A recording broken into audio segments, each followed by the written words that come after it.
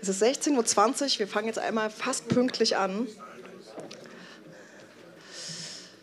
Mir ist jetzt die äh, schwierige Aufgabe gestellt worden, tatsächlich ähm, diese zwei Tage in einem Abschlusspanel zusammenzuführen. Und ich habe hier aber tatkräftige Unterstützung auf dem, auf dem Podium. Bin sehr froh, dass ich das ähm, in Anführungsstrichen nur moderieren muss sind die ÜbersetzerInnen, die sind alle da. Ich versuche sehr langsam zu sprechen heute. Alle freuen sich. Wenn ich es vergesse, ich sehe euch.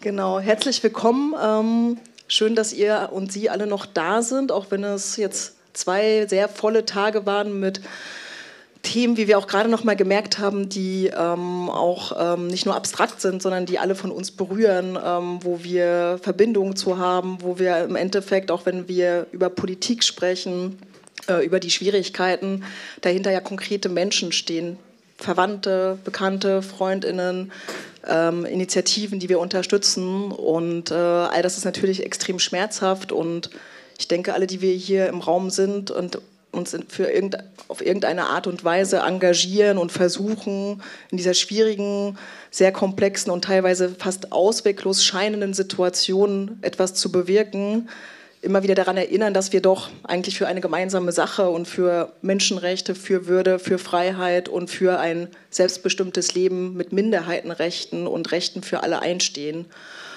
das wäre noch mal kurz mein Appell, weil es ja auch gerade so ein bisschen emotional wurde und ich verstehe das sehr gut. Ich bin selber ähm, seit ja, zwölf Jahren mittlerweile wache ich mit Syrien ein und schlafe mit Syrien auf und ich kenne das Gefühl, wenn man das mit Kinderleichen den Abend beschließt und mit Kinderleichen morgens aufwacht und die unter den Trümmern sieht und ähm, Giftgasanschlägen und sieht, wie Menschen das dritte und das vierte oder das fünfte Mal vertrieben werden. Also ich verstehe den Schmerz und ich glaube gleichzeitig, und das ist vielleicht jetzt auch ein bisschen die Aufgabe des Panels, den Versuch nochmal zu gucken, wie können wir in diesem Schmerz, der uns vielleicht auch eher zusammenbringen sollte, als uns auseinander zu dividieren, überlegen können, was können wir tun? Was können wir wirklich tun? Wo sind Ansatzpunkte, damit wir versuchen können, zumindest in, auf, in kleinen Schritten ähm, dieses Projekt auch, was hier mit zehn Jahren beschrieben wurde, hoffentlich in zehn Jahren ähm, wieder hier zu sitzen, in hoffentlich vielleicht nicht hier, sondern einem deutlich größeren Raum mit deutlich mehr Menschen und zu sagen, es ist geglückt. Es war nicht nur ein Projekt auf Zeit, sondern es hat wirklich Strahlkraft über die, in der Region selbst, aber auch über die Region hinaus. Ähm, genau, ich werde jetzt nicht den Versuch machen, alles zusammenzufassen, was wir heute und gestern diskutiert haben. Das ist viel zu viel und ähm, wir haben uns so ein bisschen abgesprochen und haben gesagt, wir versuchen nochmal den Bogen zu ziehen ähm, aus unterschiedlichen Perspektiven. Einerseits aus, ganz wichtig, der Perspektive von Ilham Ahmed, wirklich aus Syrien, aus Nordostsyrien, aus Rojava, um zu sagen, was nimmt sie denn mit? Was sind auch mögliche Perspektiven in den nächsten, ähm, in den nächsten sechs bis zwölf Monaten, aber auch nochmal ähm, durch Christine Hellberg als äh, Syrien-Expertin, noch als Person, die vor Ort war, nochmal zu schauen, was sind Ihre Erwartungen im Hinblick auf die, ähm, auf die Entwicklung im nächsten halben bis äh, äh Jahr bis zwölf Monate, aber auch nochmal wirklich sehr konkret mit Anita darüber zu sprechen. Das ist leider auch ein bisschen zu kurz gekommen. Was kann man denn zivilgesellschaftlich, humanitär wirklich konkret bewirken? Was sind die, die Erwartungen? Was, wo kann man noch ansetzen? Ähm, genau. Das eins, was ich noch sagen möchte, was ähm, so ein bisschen gerade in der Diskussion aufgekommen ist, ist, ich habe es angesprochen, das ist das Zusammenbringen von Kämpfen. Und wir haben, als ich gestern auf dem Panel saß, habe ich diesen Terminus der selektiven Solidarität angesprochen. Und ich weiß, dass wir uns immer wieder daran erinnern müssen, dass es schwerfällt. Aber wir haben beispielsweise als Adopt a Revolution 2018, als der, ähm, ähm, die Angriffe von der russischen Luftwaffe und vom syrischen Regime auf Ostruta erfolgten und wirklich in einer beispiellosen Kampagne Menschen tags und nacht bombardiert wurden von der russischen und der syrischen Luftwaffe ähm, und gleichzeitig in Afrin ähm, die Türkei einmarschiert ist, haben wir eine gemeinsame Demo aufgerufen, haben gesagt, gemeinsam auf die Straße in Berlin und wir sind losgelaufen damals von der russischen Botschaft in Berlin zur türkischen Botschaft.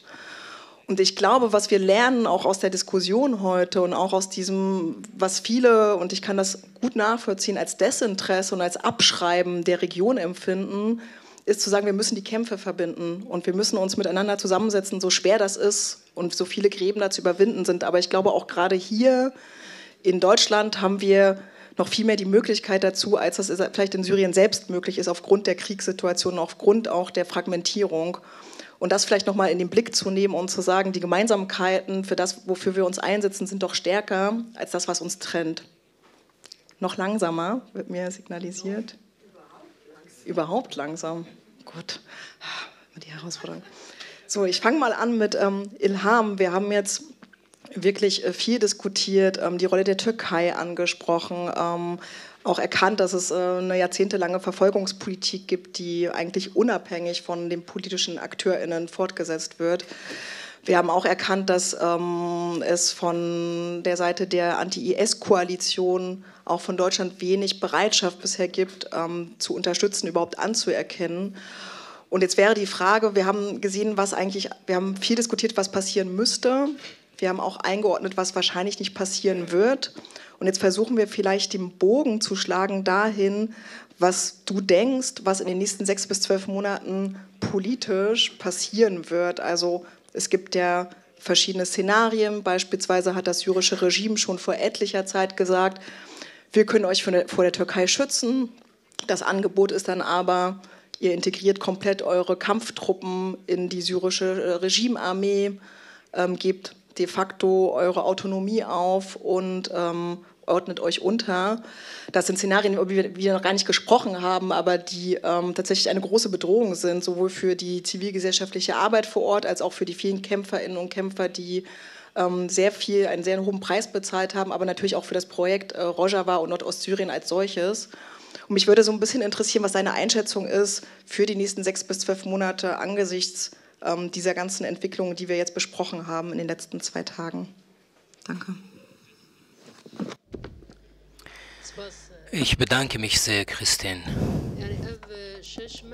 Die sechs Monate, also die, bis ein Jahr, was wir einschätzen können, für die Türkei sind es auch sehr wichtig, für die Völker in Syrien, aber für uns auch sehr, sehr wichtig, die paar Monate.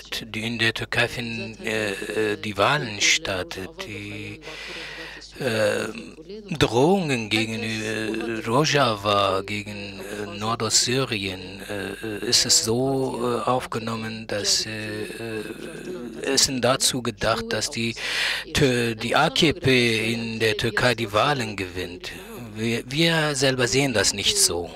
Wir denken, dass in der Türkei eine, äh, eine grundlegende politische Entscheidung gibt. Die wollen ihre Grenzen erweitern und äh, deswegen sich schützend auf diese Entscheidung drohen sie uns. Und natürlich auch die Wahlen spielen da eine Rolle wenn die Türkei in der Türkei die AKP die Wahlen äh, gewinnt, dann so sehen wir es, dass in der Türkei eine interne Krise sich entwickeln wird. Und diese Krise wird auf uns einwirken natürlich. Äh, wir als Völker in Syrien, Menschen, die Nachbarn der Türkei sind, äh, die die Polit interne Politik in der Türkei äh, wirkt sich auf uns ein. Wenn dort eine äh, Frieden äh, geschaffen werden kann, das äh, wirkt auf uns auf, aber wenn dort ein Krieg geführt wird, und das wirkt auf uns auch ein. Deswegen wir sehen die Sache so, dass wir versuchen sollen, eine politische Lösung innerhalb der Türkei gefunden wird. Die, der Prozess in, äh, in Genf, sollte äh, erneuert werden, aber nicht wie, sie, wie, wie, er jetzt gerade läuft, weil äh, Re, Regime, äh, Assad-Regime selbst denkt, dass äh, sie siegreich war. wir hören seit zwei Tagen, dass die seit zwei Monaten äh, die, die, die, äh, die Mitglieder der Itilaf äh, syrischen Opposition bekommen ihre Bezahlungen nicht mehr. das, das zeigt, dass äh, die Opposition äh, Verlierer der, sind und äh, äh Assad-Regime äh, hat ähm, gesiegt, so denken sie zumindest. Und deswegen, Assad-Regime sucht keine Lösung. Äh, wir als eine Seite, als Selbstverwaltung, wir denken, wenn äh, eine Beziehung, eine, eine Art äh, Dialog äh, zwischen fortschrittlichen Gruppen in Syrien, in Gesamtsyrien, einen Dialog entwickeln können, das könnte eine Kraft schaffen, die eine Lösung äh, erzwingen kann. Und auch, äh, das wäre sehr wichtig, äh, internationaler Ebene, wenn wir äh, in Bezug auf äh, Europäische Union und die, die Staaten, äh, die Mitglieder der äh, Koalition gegen äh, IS sind, äh, damit sie sagen können, Regime erzählen können, du bist nicht siegreich. Man muss einen Druck auf Regime aufbauen können. Das, das muss die Methode sein, die man wählt. Was die Türkei betrifft, wir wollen immer Dialog mit der Türkei, aber was die Türkei will, ist Krieg, uns bekriegen. Innerhalb der Türkei, wenn die, der, der Prozess der politischen Lösung äh, äh sich entwickelt, konnte zur Frieden führen und das würde dann auch zur Frieden an unserer Grenze führen als die Verhandlungen geführt wurden zwischen der PKK und der Türkei, das hat positiv auf, auf uns eingewirkt gehabt. Die Türkei würde verstehen, äh, dass wirtschaftlich wir sehr viele gemeinsame Interessen haben, wenn in der Türkei sich eine äh, politische Lösung für die Kurdenfrage entwickelt. Das würde äh, unsere gemeinsame wirtschaftliche Interessen sichtbarer machen was den Kontext das ist sowohl für die beiden Seiten wichtig als auch für die gesamtsyrische Lösung. Und für Nordostsyrien wäre das auch eine, eine der Methoden, die man für, für, für Friedensschaffen benutzen konnte. Wir sind niemals gegen die Sicherheit, äh, äh, wir sind keine Sicherheitsrisiko gegen die Türkei. Äh, wir wollen, dass innerhalb, der, innerhalb von Syrien auch eine dauerhafte Frieden gibt. Das ist, wie wir die Sache betrachten. außerhalb gibt es praktische Projekte geführt werden. Yes, I was wondering because what do you think what kind of oh jetzt spreche ich Englisch. Um, weil ich auf Englisch zuhöre. Ähm, aber was denkst du denn, woher dieser Druck kommen könnte? Denn wir haben ja jetzt alle die Einschätzung und auch die Entwicklung der letzten Monate und Jahre. Der Friedensprozess wurde abgebrochen. Ähm, welche Rolle könnte zum Beispiel Russland dabei spielen? Wir haben ja jetzt auch gesehen, die Russen haben beispielsweise nicht das grüne Licht gegeben für die Invasion, die die Türkei ja eigentlich schon seit Mai, Juni angekündigt hat. Also könnte Russland beispielsweise ein Akteur sein, der da Druck ausübt. Was erwartest du? Welcher, welcher Akteur könnte die Türkei dahin bringen, dass das so passiert, was du gerade beschreibst?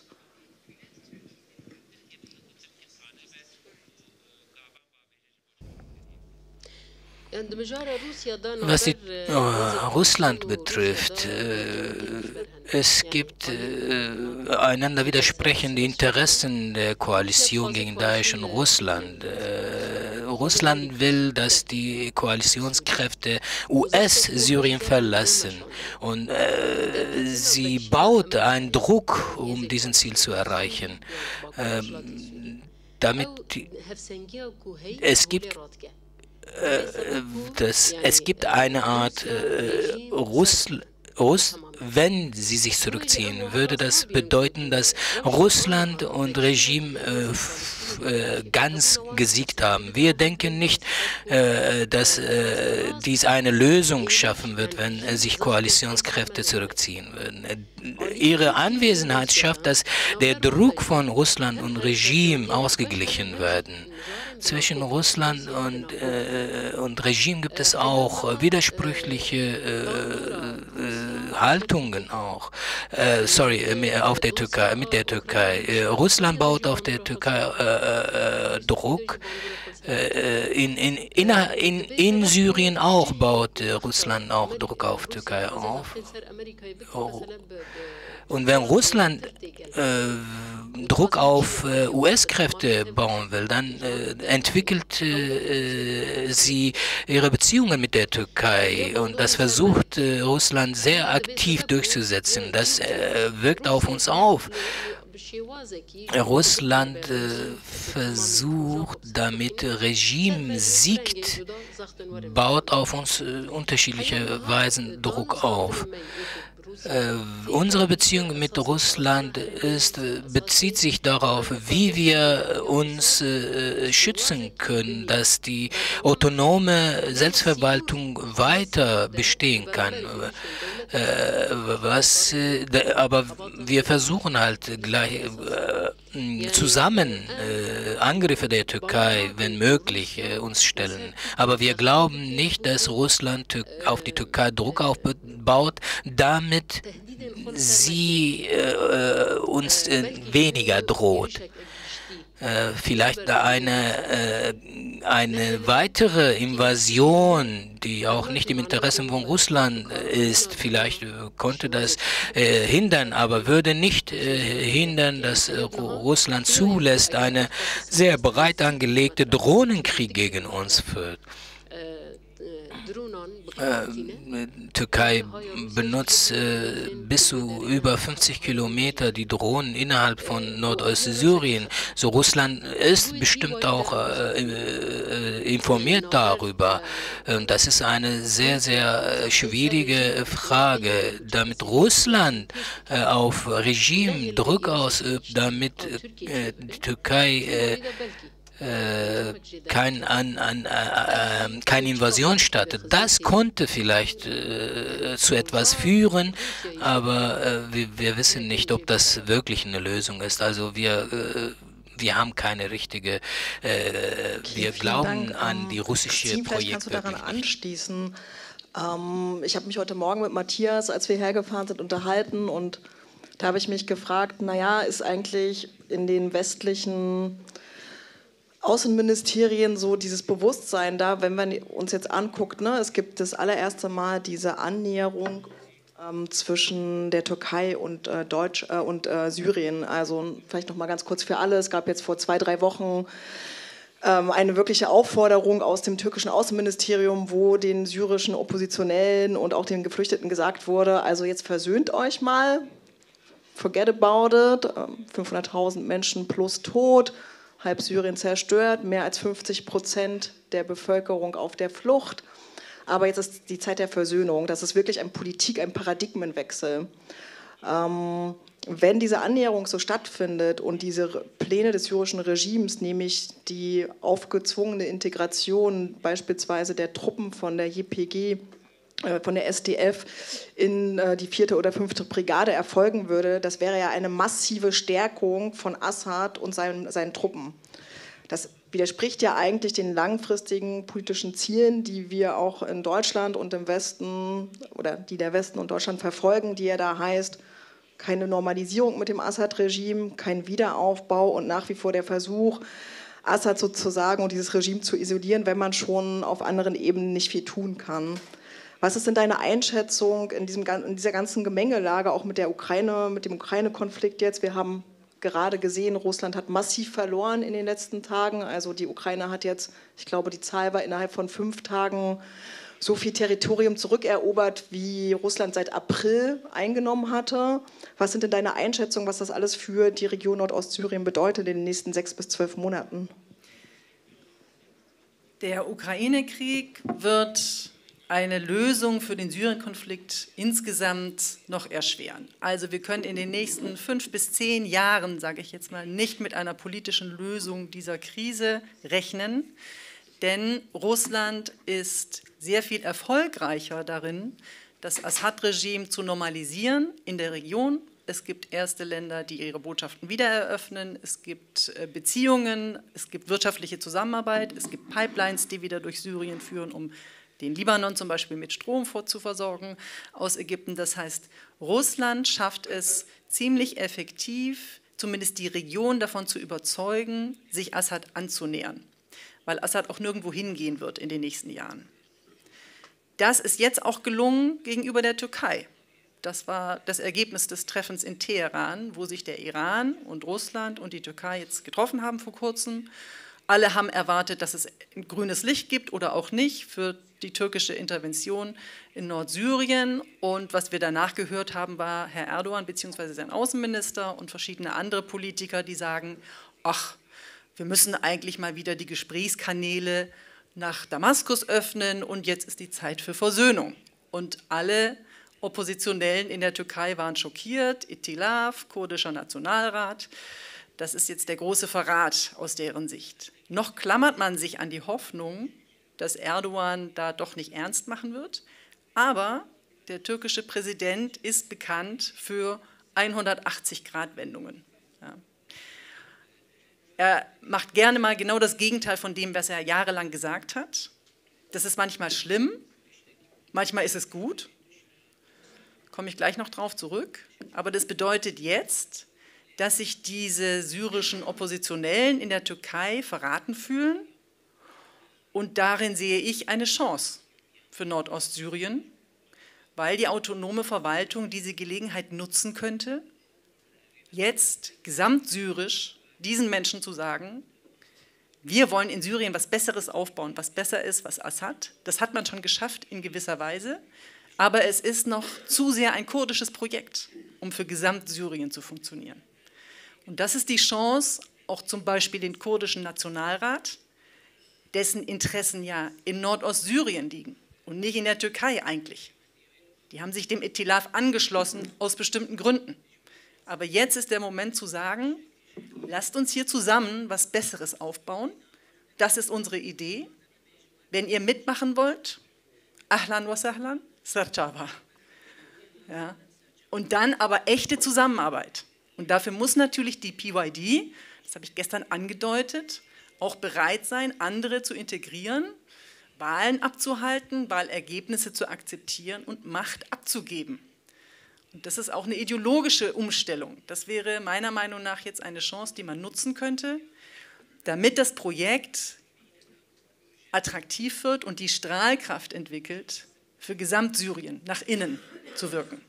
Und Ilham hat das gestern auch gesagt, wir müssen Gräben überwinden, wir müssen zusammenarbeiten. Ich glaube, diese Wende von Herrn Erdogan ist eine Chance in diese Richtung. Das erstmal. Ähm, Anita, wir haben, das ist ja so ein bisschen zu kurz gekommen, aber wir haben das auch immer, ist immer wieder angeklungen, wie schwer es doch ist. Ähm, Michael hat das auch ein paar Mal eindrücklich beschrieben, ähm, in der Region wirklich Hilfe zu leisten, zu unterstützen. Die Partnerinnen und Partner, die äh, zugeschaltet waren, haben das ja sehr eindrücklich beschrieben. Ähm, auch wir von Adopt äh, stehen immer wieder vor der Herausforderung, dass äh, de facto ja das Gebiet einem Embargo unterliegt man eigentlich kaum. Also das Reisen ist sehr schwer. Der letzte Grenzübergang wurde vor ähm, zwei, drei Jahren ne, mittlerweile ja, ähm, geschlossen.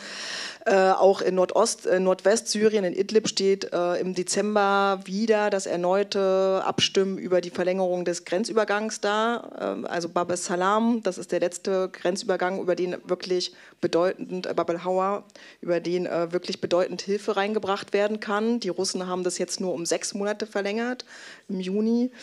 Ähm, also es ist ja sehr, sehr schwer, überhaupt humanitäre Arbeit zu leisten und auch zivilgesellschaftliche Initiativen zu unterstützen. Was ist denn so deine Prognose in dieser ganzen Gemengelage, die wir jetzt beschrieben haben, für diese, auf dieser konkreten Ebene?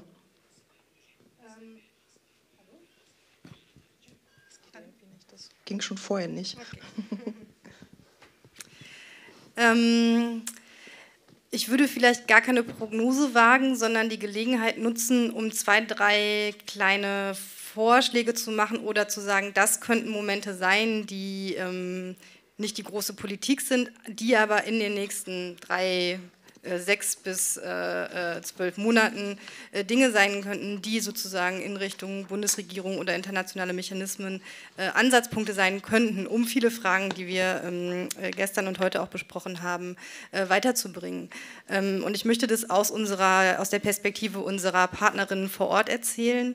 Das ist zunächst der kurdische Rote Halbmond, eine der, der die zentrale Nothilfeorganisation der Region, entstanden vor zehn Jahren aus einer Handvoll Ärztinnen und Ärzte, Studierende, äh, Medizinstudierende, heute eine Organisation mit zwei bis drei, zweieinhalbtausend Mitarbeiterinnen, die eigentlich nicht mehr wegzudenken sind in der Region. Also die in allen Krisen- und Kriegssituationen ähm, äh, Notversorgung der Bevölkerung leisten, medizinische Notversorgung machen, die in die Flüchtlingslager gehen und die da bleiben, wenn es kritisch wird. Die 2019, als der letzte große äh, Militäreinmarsch der Türkei war, nicht gegangen sind, so wie alle anderen internationalen Hilfsorganisationen, die nämlich äh, das Land verlassen haben, weil auf einmal die Direktive aus den Auslands, aus den Büros äh, kam. Ähm, zu Hause, dass sie äh, die Region verlassen sollen, ähm, weil es zu gefährlich für die Mitarbeiter wird, verständlich. Aber wer geblieben ist, ist der äh, kurdische Rote Halbmond. Was ich damit sagen will, ist, dass ich glaube, es ist absolut zentral, lokale äh, Akteure zu unterstützen, die genau das, was wir jetzt im Großen diskutieren, total ähm, in, in, im Handgemenge umsetzen. Äh, der kurdische Halbmond ist eine Organisation, da arbeiten, das ist keine kurdische Organisation, sie entschuldigen sich auch immer für den Namen so ein bisschen, bisschen, aber da arbeiten die Frauen mit dem Kopftuch genauso wie die, ähm, der Jeside, der eine, deren Familie eine krasse Verfolgungsgeschichte hat. Also es ist, ähm, äh, die sozusagen ähm, das repräsentieren, ganz praktisch, über was wir immer so ein bisschen groß auch geredet haben. Und ähm, als Medico haben wir in den letzten Jahren immer wieder versucht, ähm, äh, ähm, mit, den, ähm, mit dem ähm, Vorsitzenden oder dem äh, nicht Vorsitzenden Sherwan Berry, der leider nicht kommen konnte zur Konferenz, zum Auswärtigen Amt zu gehen, ihn dort vorzustellen, ähm, äh, ihn ähm, der internationalen Rotkreuzbewegung äh, vorzustellen. Äh, das Problem ist, dass es den syrisch-arabischen Halbmond gibt, der ist anerkannt und es darf nur eine Halbmondbewegung pro Land geben. Ähm, und ich glaube, da geht es mir jetzt gar nicht darum, dass das Auswärtige Amt oder das BMZ die Organisation mit Geld überschüttet, weil auch das wissen wir, das geht in den meisten Fällen nicht gut, sondern es geht um eine Anerkennung der Arbeit der lokalen Helferinnen vor Ort. Äh, das wäre so ein Schritt, wo ich sagen würde, das sind so ganz pragmatische Punkte, äh, da gehört politischer Wille zu ähm, äh, die Leute im Auswärtigen Amt zu, zu empfangen, ähm, sich anzuhören, was ihre Arbeit sind, was die äh, Probleme sind, ihnen vielleicht auch ein bisschen Geld zu geben, ähm, genau, sie nicht zu überschütten. Und die Frage, ähm, du hast es eben angeschnitten, der Zugänge in die Region, sich ähm, für die Öffnung des Grenzzugangs ähm, äh, Al-Jarubir, der Anfang 2020 geschlossen wurde, einzusetzen. Genau dasselbe Problem haben wir in Idlib, in Idlib.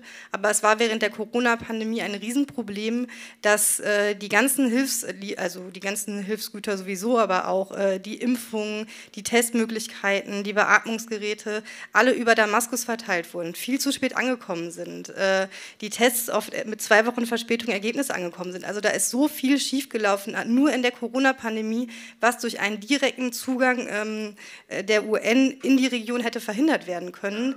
Ähm, auch das wird jetzt nicht einfach so umgesetzt werden, aber ich wollte das auch mal als zwei sehr konkrete Beispiele nennen, äh, aus der Perspektive auch einer humanitären Hilfsorganisation, die wir ja auch sind. Ähm, wir organisieren nicht nur so politische Kongresse, sondern sind eben auch mitten im Handgemenge mit unseren Partnern vor Ort.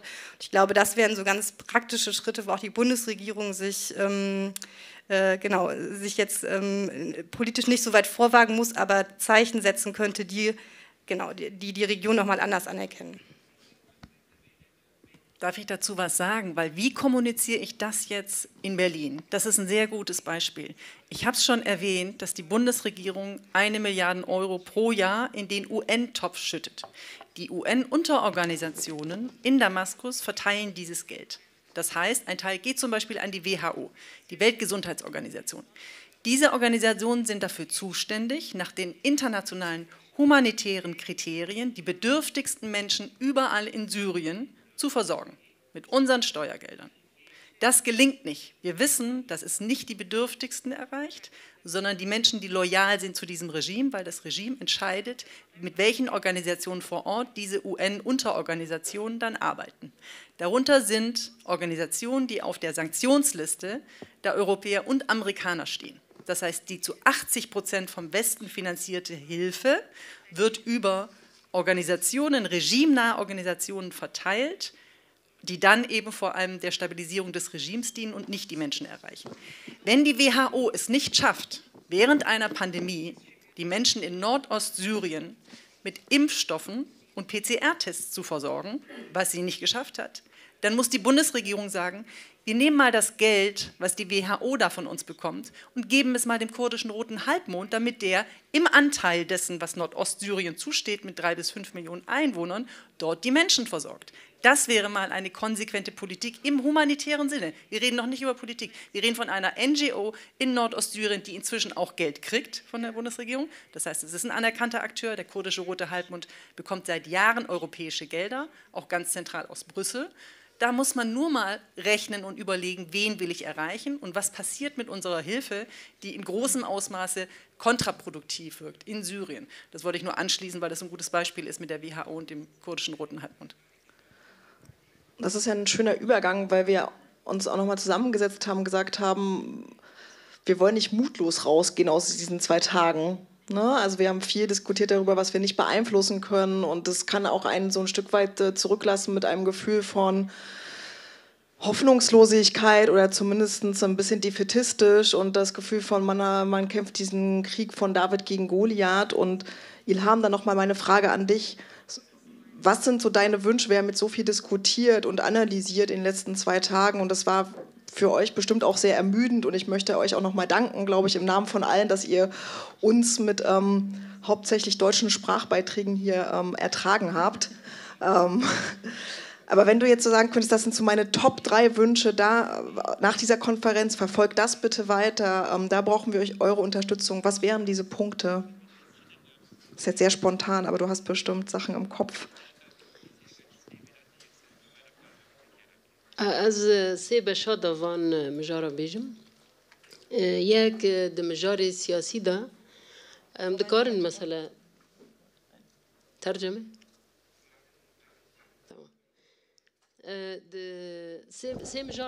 Das in drei unterschiedliche Bereiche kann ich das beantworten.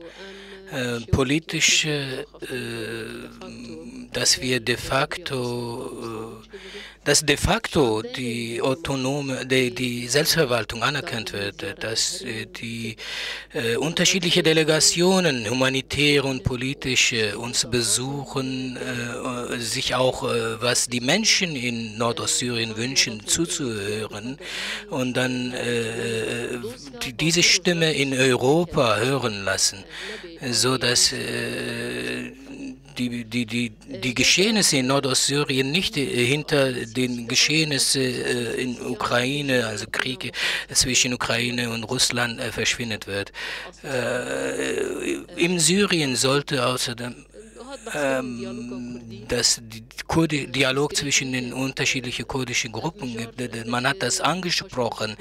Äh, das hat einen äh, Hintergrund, kurdischen Hintergrund, ist nicht nur äh, begrenzt auf Rojava und Nordostsyrien. Das ist eine Kurdistan, das ist ein, ein, ein, eine Frage von Kurdistan, was eigentlich den Dialog hindert für, die, für beide Seiten. Deswegen von uns ist gewünscht, dass dass, dass zwischen uns Kurden äh, mit der Gesamtbeteiligung eine Lösung gefunden wird und die, die, die Wahlen stattfinden. Das würde die Situation vor Ort verbessern, wenn das unterstützt wird, dass wir diesen Wunsch praktisch äh, äh, einführen können. Aber die Drohungen aus der Türkei verhindert unsere Projekte. Ähm, lasst uns nicht, äh, dass die Kurden und Araber sich einigen, alle sich beteiligen, Lösungen finden. Die Drohungen aus der Türkei sind entscheidend äh, zum Teil.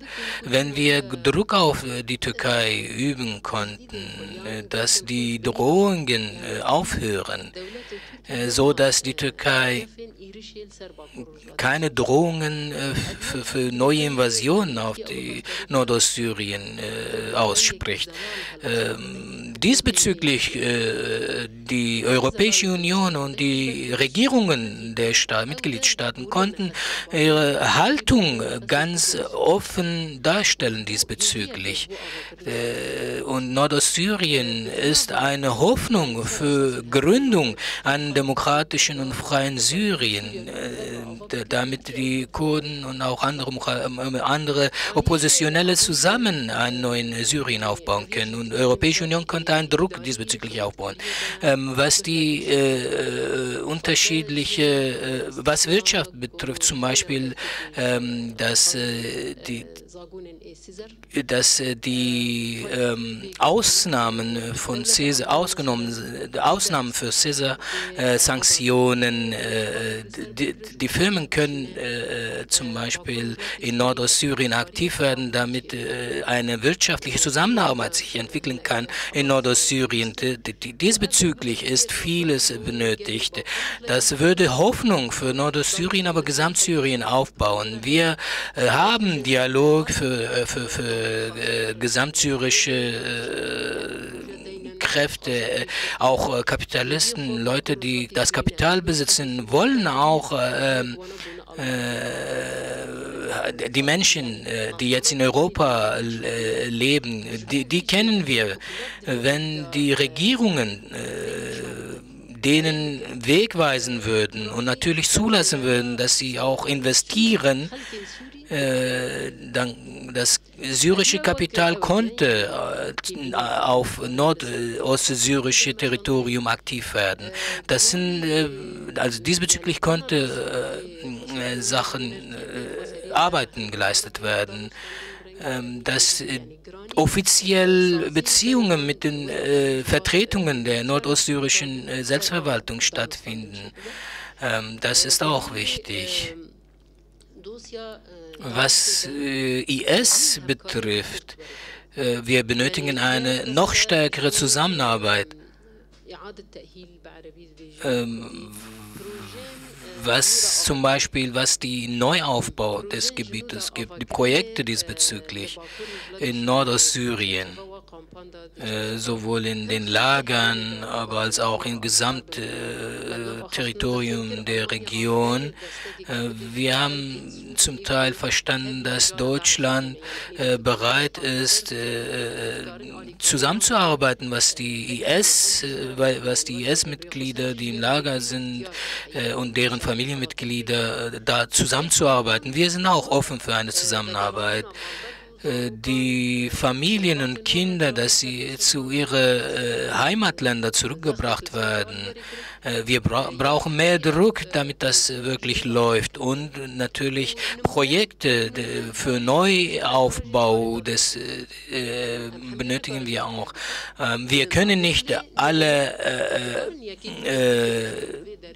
wir können alle nicht vor Gericht stellen. Aber das, trotzdem, äh, IS ist eine sehr, sehr große äh, Gefahr für die Gesamtregion. Äh, und für die internationale Sicherheit auch. Deutschland und Regierung von Deutschland sollte verstehen, dass wir in, in dieser Ebene zusammenarbeiten müssen. Wir brauchen Deutschland und Deutschland braucht uns.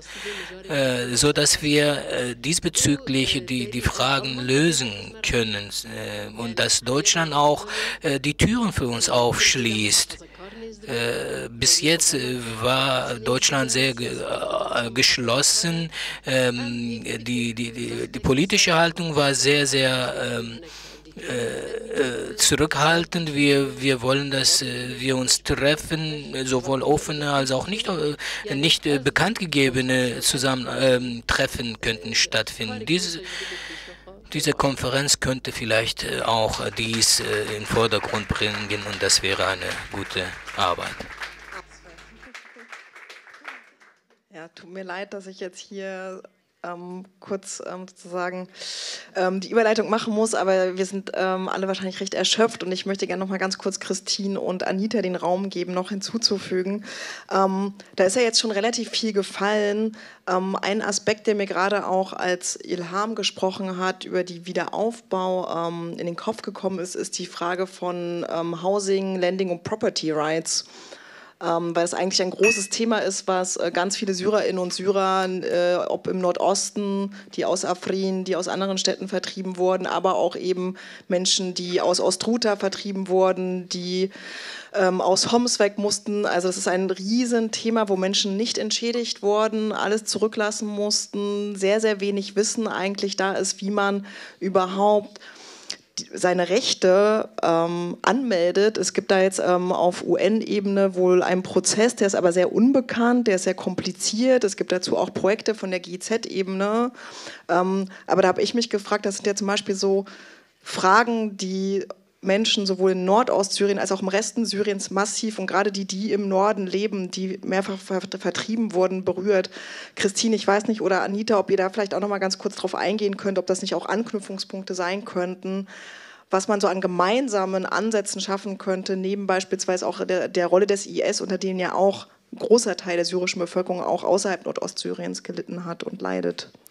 Also das Thema Housing, Land and Property Rights muss bei jeder Lösung, bei jeder Verhandlung, bei jedem Treffen mitgedacht werden. Denn wir haben in Syrien eine Situation, wo mehr als die Hälfte der Bevölkerung nicht mehr in ihren ursprünglichen Wohnungen lebt. Egal, ob sie intern vertrieben sind oder das Land verlassen haben. Das ist ein Riesenthema. Stellen Sie sich vor, die Hälfte der Deutschen kann nicht mehr in ihre Wohnung, aus verschiedenen Gründen. Assad verhindert das, weil er enteignet andere, und das ist dann natürlich das Problem, du sagst zu Recht, Christine, wir müssen das zusammendenken, es betrifft so viele Menschen, aber Vertriebene aus Ostruta sind in Afrin in Häuser gezogen, wo Kurden gelebt haben. Das heißt, das Thema zusammenzudenken schafft auch erstmal neue Konflikte natürlich und Wunden. Und da muss man natürlich wahrscheinlich nochmal woanders anfangen und erstmal an gegenseitigem Verständnis arbeiten oder an der Fähigkeit, sich in die Lage des anderen hineinzuversetzen. Das ist etwas, was in Kriegszeiten total zu kurz kommt und was auch ganz vielen Syrerinnen und Syrern, auch wenn sie in Deutschland sind, richtig schwer fällt, sich wirklich zu überlegen, ich bin Kurdin, ich bin Kurde, ich leide unter der Türkei, aber wie fühlt sich der Mensch in Nord-Idlib, der täglich äh, bombardiert wird oder wurde in der Vergangenheit, und der dort sitzt, den ich nur als Islamist wahrnehme. Ja? Und was sagt dann wiederum die Vertriebene, die zum fünften Mal vertrieben ist, die Frau in Idlib, und sagt, ja, die Kurden wollen sowieso unser Land wegnehmen. Das ist das, was sie gehört hat über Jahrzehnte. Das heißt, diese Menschen, diese Wahrnehmungen erstmal zusammenzubringen, bedeutet, dass man über Identität redet, darüber, äh, ne, was habe ich erlitten, das anerkennt das Leid des anderen. Und das ist wahrscheinlich die Voraussetzung dafür, um dann so große Themen von Unrecht und Aufarbeitung von Unrecht und Lösungen von Eigentumsverhältnissen zu lösen. Ich wollte noch mal auf das eingehen, was Ilham gesagt hat. Die hat ganz viele Sachen gesagt, die ich aufgreifen wollte. Spaß, äh, danke dafür. Und zwar, wenn sie fordert natürlich, dass wir deutsche Delegationen wollen in Kamischli und europäische Unternehmen, die dort investieren, dann hat das alles mit diesem großen Thema Sicherheit zu tun. Auch ein europäisches Unternehmen braucht Sicherheit, wenn es investieren möchte. Die Menschen vor Ort brauchen Sicherheit. Die Türken sprechen von Sicherheit. Tut mir leid, auch das ist halt das große Thema der Türkei. Erdogan behauptet, es gehe ihm um Sicherheit. Und da sehe ich dann doch eine mögliche Rolle der Europäer. Erdogan spricht davon, er möchte eine 30 Kilometer lange Zone ja inzwischen auch im Irak schaffen. Er möchte, er denkt ja die ganze Südgrenze der Türkei, also vom Mittelmeer im Grunde bis nach Mosul, ja.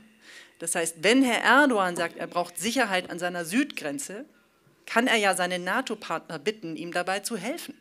Warum engagieren sich europäische Länder nicht, eine internationale Sicherheitszone, international kontrollierte Sicherheitszone, dort umzusetzen. Das war mal eine Idee, die dann schnell obsolet wurde, weil sie zu spät kam.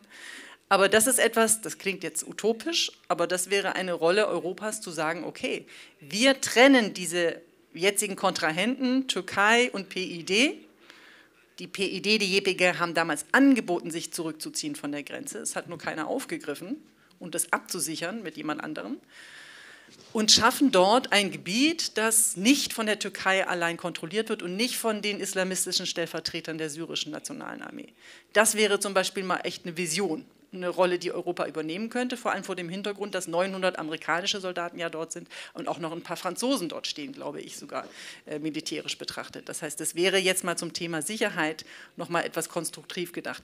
Und wenn die autonome Verwaltung möchte, dass diese konservative deutsche Position überwunden wird in Berlin, dann kann man, glaube ich, auch noch zwei Dinge tun. Man kann einerseits versichern, dass Gelder nicht beim Regime landen, auch wenn sie in Kamischli ankämen. Also das ist, glaube ich, tatsächlich wichtig. Und dafür braucht es Transparenz. Ja, Transparenz ist ein ganz wichtiges Gut, um Vertrauen zu schaffen im Ausland. Und das ist bisher zu intransparent, wo Gelder hinkommen, wo das Geld herkommt. Und das ist eine vertrauensbildende Maßnahme, glaube ich. Und dann das, was ich schon erwähnt habe, also der Versuch, das Projekt eben nicht als ein Projekt einer Partei darzustellen oder eben äh, anzuerkennen, dass es noch zu sehr als solches wahrgenommen wird. Nicht, weil die PKK eine Terrororganisation ist. Ich bin da voll äh, auf eurer Linie, dass man, dass das abgeschafft gehört, aber weil zum jetzigen Zeitpunkt die Realität so ist und deswegen klüger ist, wenn man nicht so viele Öcalan-Fotos aufhängt überall, auch wenn das der geistige Gründervater und der, das ist ein Philosoph, der die Idee hat, das ist eine tolle Idee, die umgesetzt wird, aber man kann sich pragmatischer verhalten und es sozusagen europäischen Delegationen einfacher machen, wenn sie dorthin kommen. Also strategischer denken und pragmatischer denken und dann den Deutschen erklären, warum es in ihrem Interesse ist, den Nordosten Syriens zu stabilisieren, als einziger Teil Syriens, weil überall sonst kann ich gar nichts machen. Ich kann im Nordosten stabilisieren, das ist ein Drittel des Staatsgebietes. Das könnte ich langfristig unabhängig machen von humanitärer Hilfe, das wäre sehr im deutschen Interesse. Ich verhindere, dass Menschen weiter flüchten, auf der Route über Belarus waren sehr viele syrische Kurden, die zum Teil noch im Wald sitzen im Übrigen, ja, auch eine beschämende Tatsache bis heute. Und ich verhindere, dass eben ein IS 2.0 entsteht und diese Terroristen dann uns auch erst wieder interessieren, wenn sie in Europa Anschläge begehen oder wenn sie als radikalisierte Jugendliche mit deutschen Pässen zurückreisen. Über diese beiden Themen muss ich der Bundesregierung erklären, warum es in ihrem Interesse ist, in Nordostsyrien sich zu engagieren mindestens über NGOs, mindestens über die Zivilgesellschaft und möglichst auch vielleicht nach weiterer Entwicklung, auch mit der Autonomie, Autonomieverwaltung direkt. Danke dir dann, ähm, Anita. Ich gebe dir, ich glaube, das geht nicht, das Mikro. Ähm, genau. Ich würde dir jetzt sozusagen das ähm, Schlusswort auch gleich noch ähm, übergeben, aber du kannst natürlich gerne noch mal inhaltlich was sagen und dann ähm, bitte. Ja, ja, das würde ich noch machen, aber genau, ich, kurz den mm, Abschluss.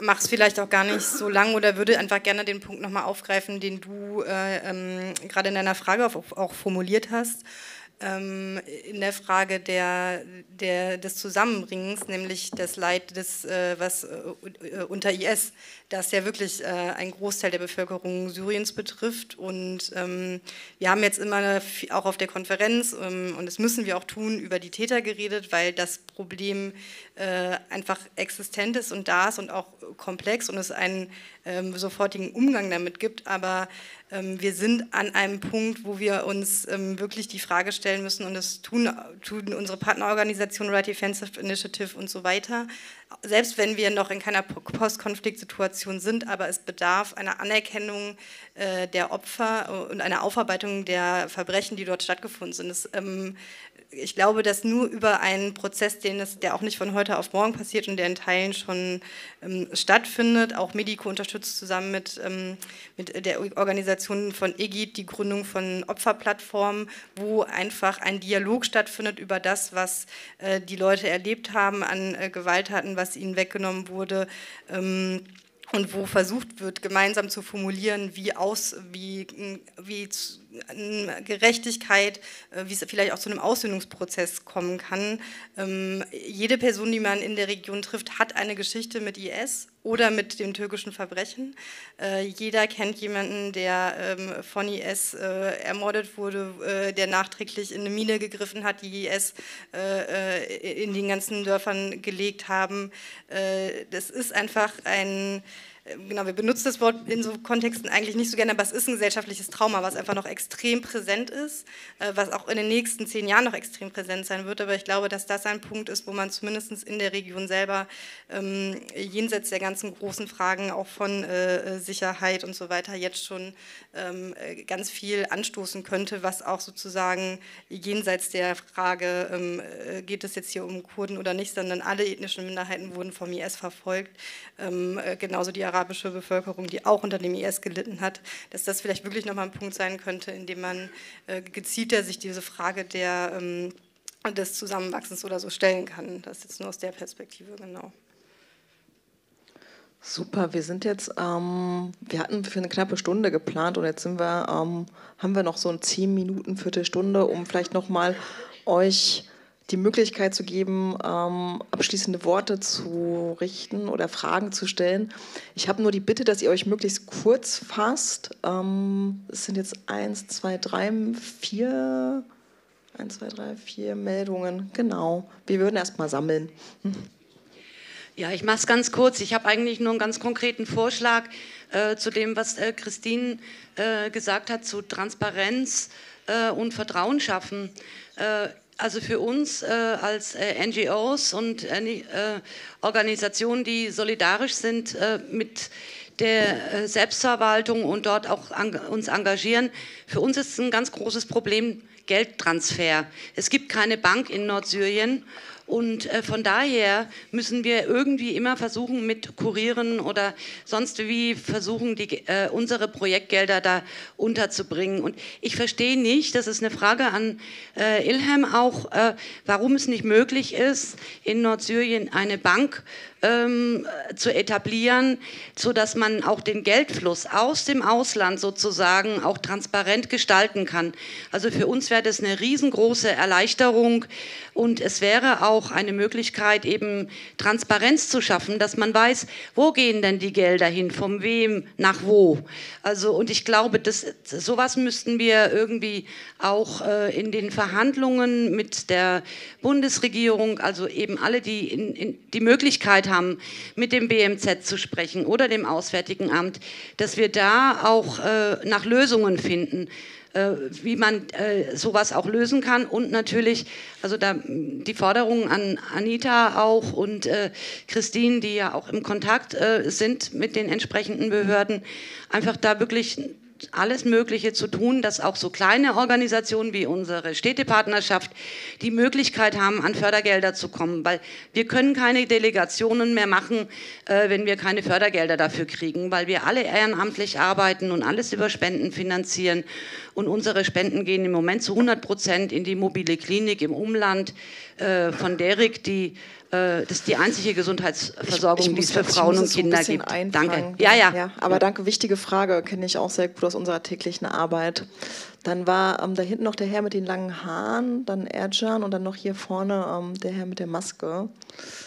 Äh, Christine, ich möchte gerne auf deine Idee äh, zurückkommen, dass äh, Erdogan gerade seine Freunde verraten hat und die Kurden sollten ausgerechnet mit diesen Freunden die Macht teilen es ist für mich wie ein Déjà-vu. Es ist ein äh, fataler Fehler, ähm, so einen Vorschlag zu machen.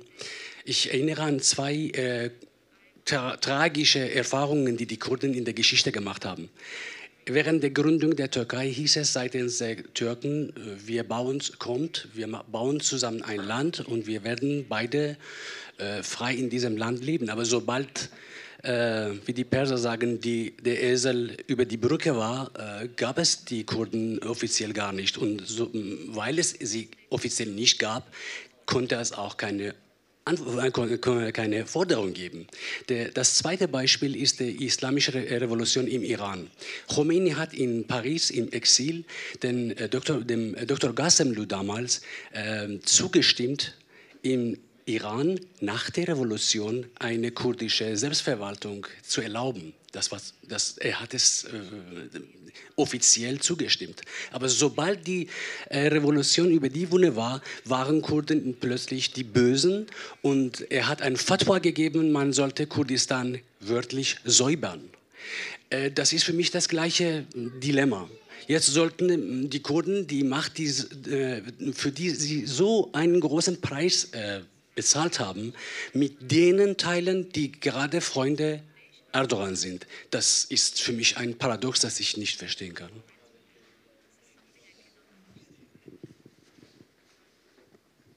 Meine Frage richtet sich an Ilham Ahmed.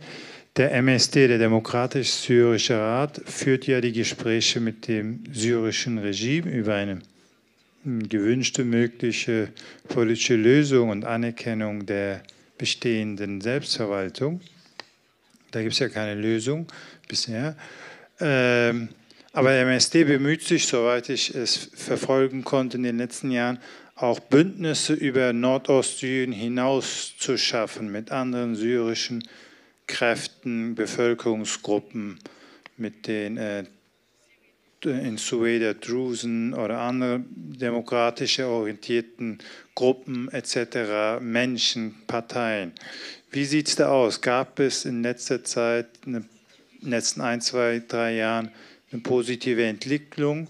Das wäre ja die Option, äh, die beste Option für Syrien eigentlich dass äh, aus ganz Syrien eine, äh, Unterstützung für Nordostsyrien oder für die grundlegende Idee kommt, äh, um ein neues Land, neue Verfassung zu schaffen.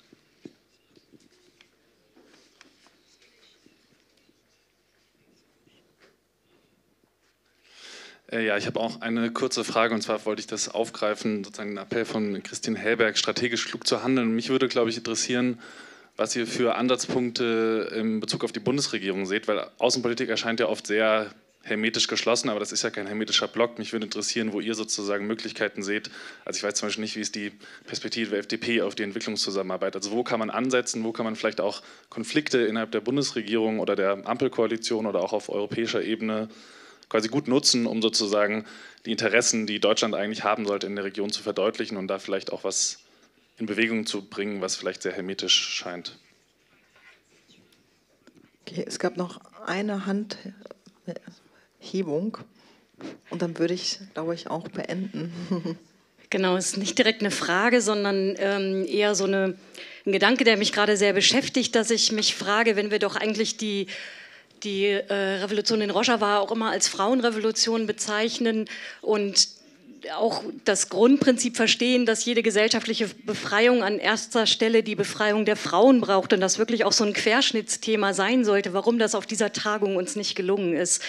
Also dass es so wenig präsent war und ähm, genau, also dass, dass so eine feministische Perspektive hier einfach sehr äh, ja sehr, äh, ja eigentlich kaum vorkam und, und dass es ja nicht ein Sonderthema sein kann, was dann ein anderes Mal behandelt wird. Und mich beschäftigt das einfach gerade sehr, wie das passieren konnte, dass es so ist irgendwie. Okay, die würde ich dann vielleicht nochmal an Anita zurückspielen. Ähm, wollen wir damit gleich einsteigen und dann würde ich die anderen Fragen an ja. Christine und Ilham weitergeben? Ähm, genau, ich ähm, hatte eigentlich das Gefühl, dass eben, weil es ein Querschnittsthema ist ähm, und wir das ja gerade am Anfang oder im ersten Drittel der Konferenz immer wieder betont haben, was die Prinzipien sind und auch die äh, Herausforderungen in diesen, in den feministischen Errungenschaften, die es ja durchaus gelungen sind, in der Region äh, umzusetzen, dass wir es eben als Querschnittsthema mitnehmen durch die ganze Konferenz. Es ist sicherlich an der einen oder anderen Stelle zu kurz gekommen und man hätte sich an einem einzelnen Panel nochmal expliziter damit auseinandersetzen können. Die Ladirik hat das ja am Anfang ähm, so ein bisschen gemacht. Sie hat ja auch ihr Buch genau zu dieser Frage geschrieben. Äh, deswegen haben wir sie auch eingeladen. Ähm, und ich hätte eher die Hoffnung, dass sozusagen sich ähm, genau diese Frage der, der, der Gleichberechtigung, der Frauenfrage, äh, der feministischen Theorie auch, Rita Segato, die ist ja eine der relevantesten feministischen äh, Theoretikerinnen äh, äh, zeitgenössischen, ähm, die hat das ja auch nochmal aufgegriffen und gesagt, wie zentral auch dieser feministische Punkt ist, dass wir den sozusagen durch die ganze Konferenz äh, so ein bisschen mitgenommen haben. Aber sicherlich hätte man den an der einen oder anderen Stelle nochmal stärker machen können, da gebe ich recht. Aber genau, ich ähm, denke schon, dass wir, das merken wir auch in unserer alltäglichen Arbeit, da auf jeden Fall... Ähm, äh, äh, das erleben wir ja, wenn wir vor Ort sind bei unseren Projektpartnern. Also es ist nichts, was, ähm, was wir hinten rüberfallen lassen wollen oder so, genau. Dann würde ich gleich mal mit dir, Christine, weitermachen, weil ich dann ganz gerne, glaube ich, auch mit Ilham enden genau. würde. Das fände ich einen schönen Schluss. Ähm, es gab ja zwei Fragen an dich. Einmal hier die konkrete ja, Frage der äh, auswärtigen Politik und welche Möglichkeiten des Einflusses man hätte. Und dann nochmal ähm, die Anmerkung von hinten, Machtteilung mit den Freunden. Das war doch schon immer Verrat. Genau. Die Geschichte der Kurden ist eine Geschichte des Verrats. Ist mir total bewusst. Gibt es noch viele andere Beispiele. Und ich würde dem total zustimmen, wenn ich jetzt fordern würde, dass man doch jetzt Bashar al-Assad vertrauen müsste, wenn er sagt, wir machen hier was zusammen, weil klar ist, dass er nicht bereit ist, diese Macht zu teilen, weil er sie ja auch immer noch hat. Es geht ja nicht darum, jetzt mit Leuten zu verhandeln über eine gemeinsame Regierung, die aus einer Position der Stärke heraus sowieso schon dieses Land regieren, wie das dann im Iran gekommen ist zum Beispiel, sondern es geht darum, Leuten, die eigentlich auch vor demselben Regime mal, die sich gegen dieses gleiche Regime auch mal aufgelehnt haben, unter dem auch die Kurden seit Jahrzehnten leiden, zu Verbündeten zu machen, wieder. Ja, was man ganz am Anfang 2011 auch mal der Fall war. Das heißt, ich verstehe das, aber wir haben ja, jetzt, aber jemand nicht den Raum, so hin und her zu diskutieren. Ja, ja. Danach ist ja, ja genau. Wir können das ja auch gleich nochmal vertiefen. Pause, aber es geht genau. jetzt nicht darum, dass man sozusagen einer Person, die dann die Macht übernimmt im einen Land, das ist klar, die kommt zurück. Ich sage jetzt nicht, der Etelafe übernimmt morgen die Macht in Damaskus und jetzt äh, sollen die Kurden noch mit ihnen Macht teilen, sondern es geht jetzt darum, Schritt für Schritt was zu bauen was die Kurden angefangen haben zu bauen. Das heißt, sie integrieren etwas oder sie sprechen die anderen Teile der Gesellschaft noch deutlicher an und laden sie ein, mitzumachen aus einer Position der Stärke in Nordostsyrien zum jetzigen Zeitpunkt. Und das ist eine andere Machtverteilung, vor allem angesichts der Tatsache, dass diese Menschen sich gerade auch verraten fühlen, wieder von einem vermeintlichen Unterstützer.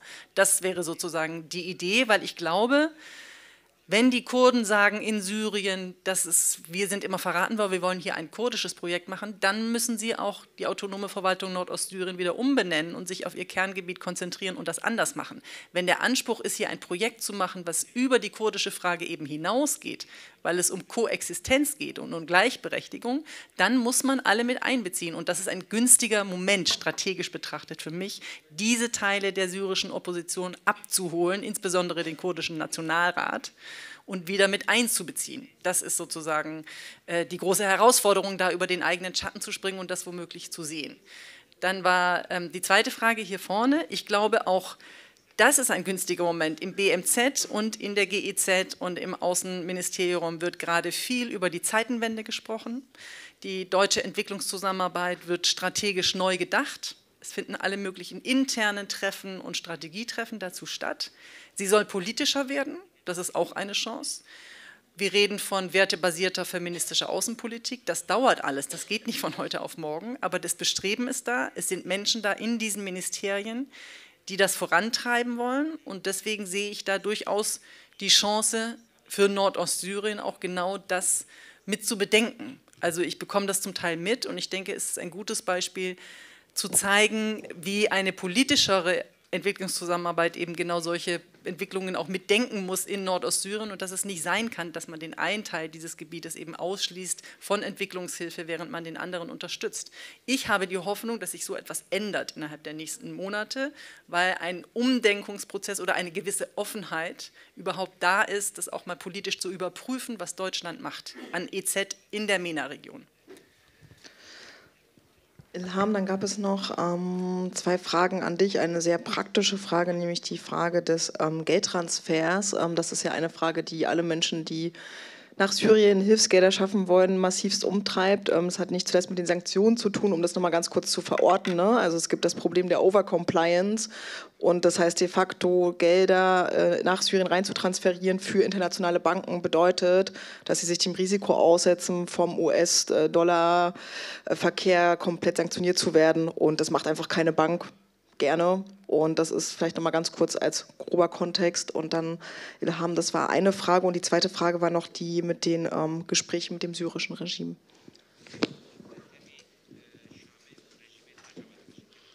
پروبلمك هي دمجاري بانكا دا يعني هر بانكك هر درباسي سوري ببه ترجمة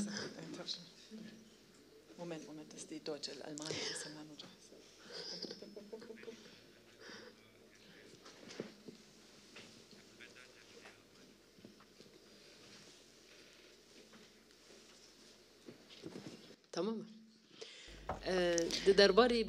Was die Banken betrifft, wir haben ein Riesenproblem. Wenn eine Bank in Syrien eröffnet werden soll, dann benötigt sie eine Erlaubnis. Oh.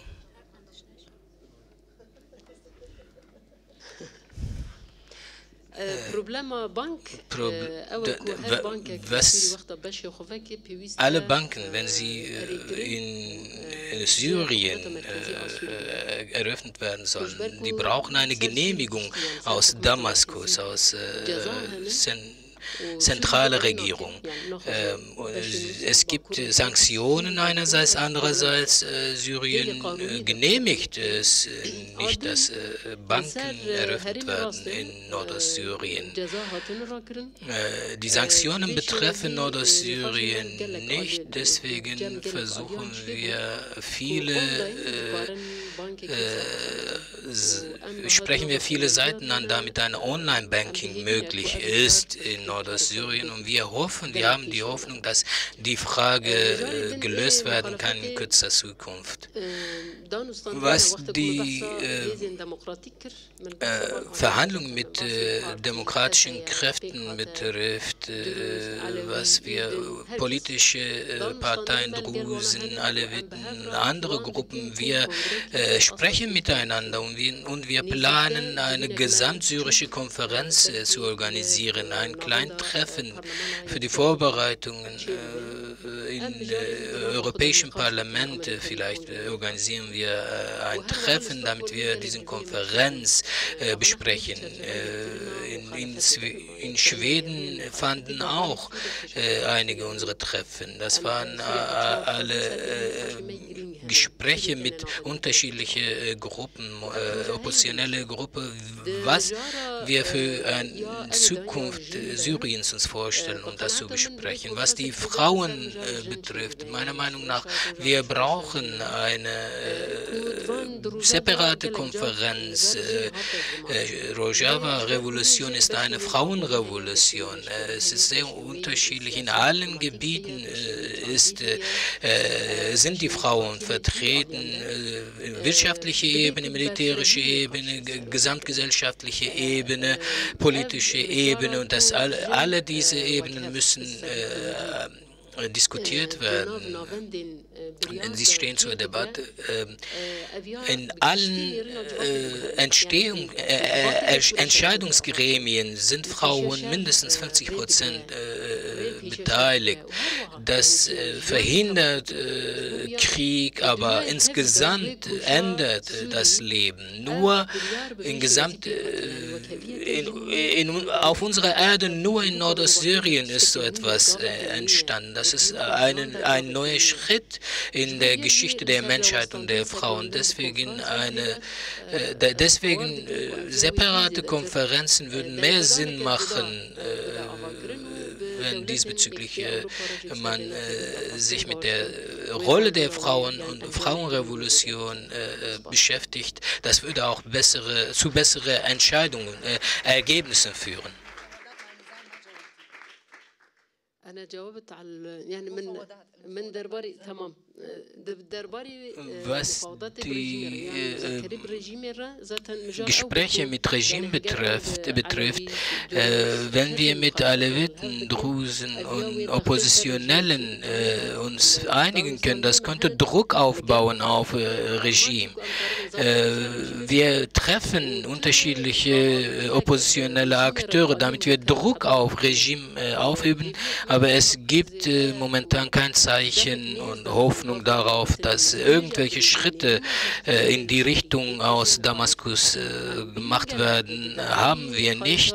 Ähm, äh, wir versuchen, äh, wir wollen am Anfang alle oppositionelle Treffen und eine gemeinsame äh, Sicht auf die Lösung entwickeln und so mit äh, der äh, Regime in Scham verhandeln. Das würde mehr Sinn machen. Konferenz schon geplant, würde ich sagen. Ihr wisst, was ihr zu tun habt. Äh, Leute im Publikum, die sich jetzt angesprochen fühlen, das mitorganisieren zu wollen, ähm, sind ähm, ähm, genau haben jetzt schon Ideen bekommen.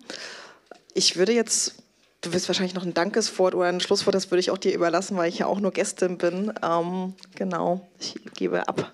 Ja, aber genau dafür möchte ich mich ähm, äh, zuerst bedanken bei euch dreien für dieses tolle Abschlusspanel.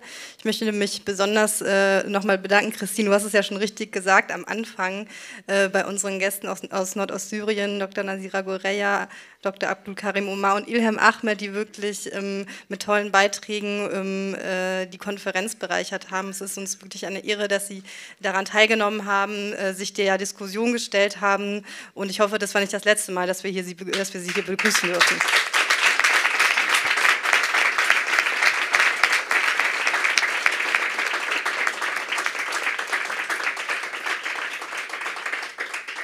Vielen Dank sonst auch an alle anderen Referentinnen, die sich ähm, die Zeit genommen haben, sich auf diese Konferenz vorzubereiten. Es waren wirklich anspruchsvolle und ich denke auch sehr wichtige Diskussionen, die wir weiterführen werden und müssen. Ähm, wir haben zehn Jahre zurückgeblickt. Es war aber auch eine, ähm, äh, eine, ein wichtiger Schritt, innezuhalten und zu schauen, was die Perspektiven sind und was die nächsten zehn oder zwanzig Jahre für Aufgaben äh, uns bevorstehen, damit wir auch in, äh, den, in den in zehn Jahren äh, wieder zu so einer Konferenz einladen können, wo wir dann hoffentlich an einem anderen Punkt stehen. Ich möchte mich dafür ganz herzlich bei allen Referierenden und auch bei allen Teilnehmerinnen bedanken, die sich so rege an der Diskussion beteiligt haben. Ähm, und mein besonderer Dank gilt nochmal der äh, Rosa-Luxemburg-Stiftung Stiftung in Person Erdan Eiburger, mit dem ich auch viel im Vorfeld diskutiert habe äh, über die über die Zusammensetzung der Panel, über die Leute, die wir einladen. Ähm, genauso das äh, kurdische Öffentlichkeitszentrum Shivaka Assad, ähm, die uns vor allen Dingen dabei unterstützt haben, die ähm, genauso wie das Büro der Vertretung in Berlin, Khaled Devrisch, der leider aus Krankheitsgründen nicht da sein kann, aber Lukas ähm, äh, dort auch arbeitet, die uns beide sehr sowohl in der inhaltlichen Konzeption, aber auch in ähm, den ganz praktischen Fragen, nämlich äh, äh Einran Anreise ähm, der Gäste aus Nordostsyrien Syrien unterstützt haben. Vielen Dank auch dafür.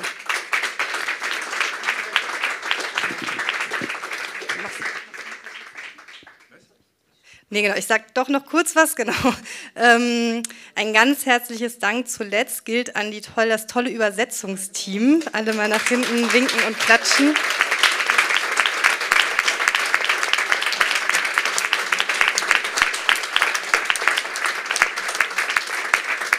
Ohne euch wäre dieser Austausch so nicht möglich gewesen. Vielen Dank.